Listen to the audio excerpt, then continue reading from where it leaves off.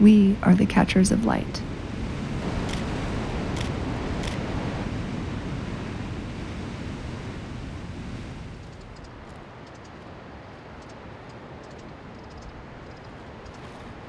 We explore quiet places.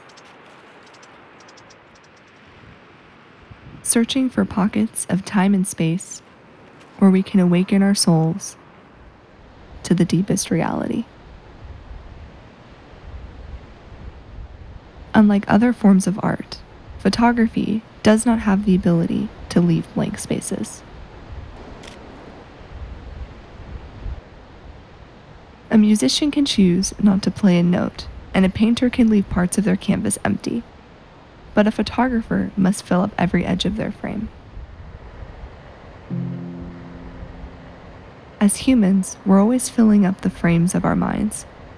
We do not have the option to leave any blank spaces. Our attention is always fixed somewhere. This is beyond our control. But we do have the ability to choose where our focus will rest and whose attention we will seek.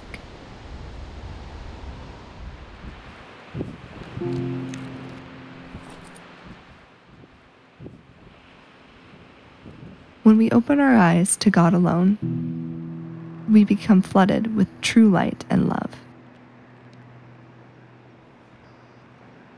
If your eye is healthy, your whole body will be full of light, no matter how dark your surroundings may be.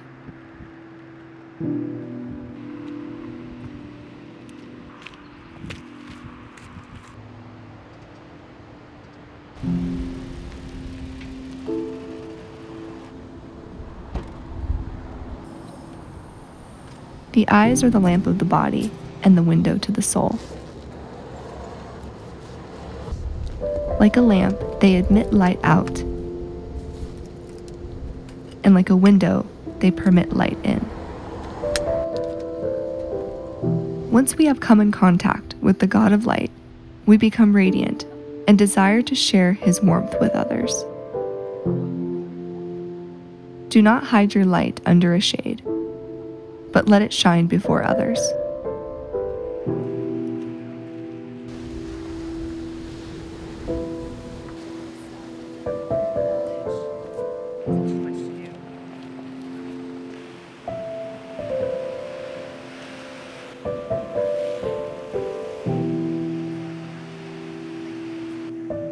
We are formed by the things we set our eyes on, and by those who set their eyes on us.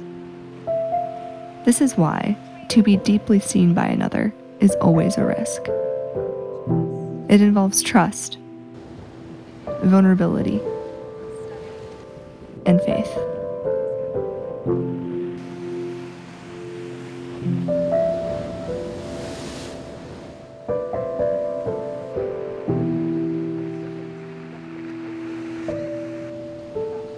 Sometimes we can see the first glowing rays in another person before they can see it in themselves.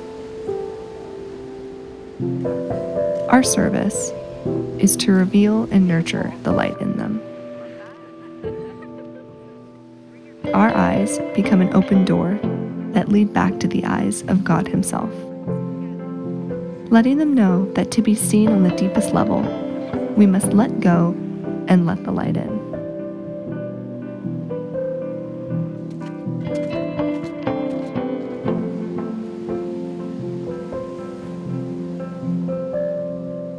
More than making someone look good on camera, we invite them into the goodness of God that is waiting for them off camera.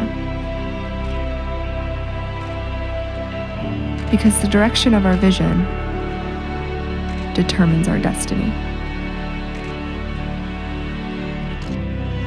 So let go, let the light in, and let it out.